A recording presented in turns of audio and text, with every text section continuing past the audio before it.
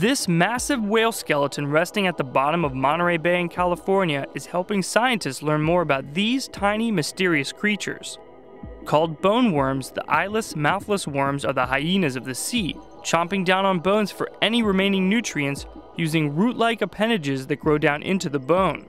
Not many worms grow complex root systems like a tree. And within the tissues of the roots, you find bacteria appear to play a role in extracting organic compounds, probably cholesterol, other fats, and collagen, a protein, from the matrix of the bone. In a recent study, biologists said they found as many as 15 different species of bone worms in Monterey Bay.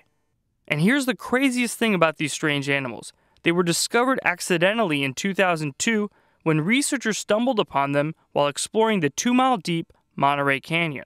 From 2004 until 2008, the scientists sunk five dead whales into the canyon to learn more about these worms. Whales die in the area as they're migrating north and south each year. Some of the dead whales, of course, wash up on our beaches. We haul them out with our ships and then weight them down with some steel.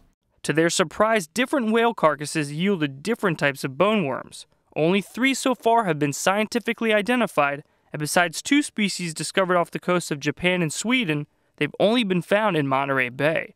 With this recent work, we know that there are at least 12 additional species in Monterey Bay that as yet don't have scientific names, and over the next year or two, we will be writing up uh, scientific papers to describe their characteristics, give each of them an appropriate name, and uh, this will add to the known diversity of these worms.